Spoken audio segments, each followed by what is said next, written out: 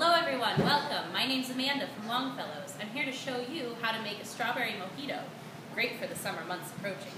First, you take some fresh strawberry. Next, some fresh cut lime. And then, some hand-picked mint from our herb garden here at Longfellows. Add a dash of strawberry puree. A dash of simple syrup. And an ounce and a half of Bacardi rum.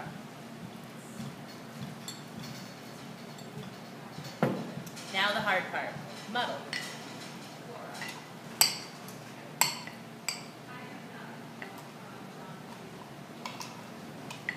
When you get everything all mixed up, fill your pint glass with ice.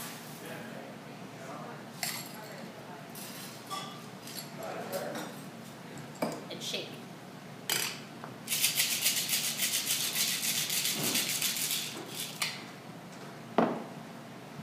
Now, as you pour the contents into the glass, add a splash of Sierra Mist or club soda if you don't want it to be too sweet.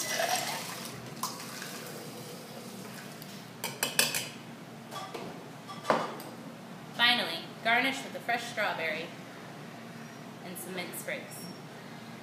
And there you go, the perfect summer cocktail. Enjoy.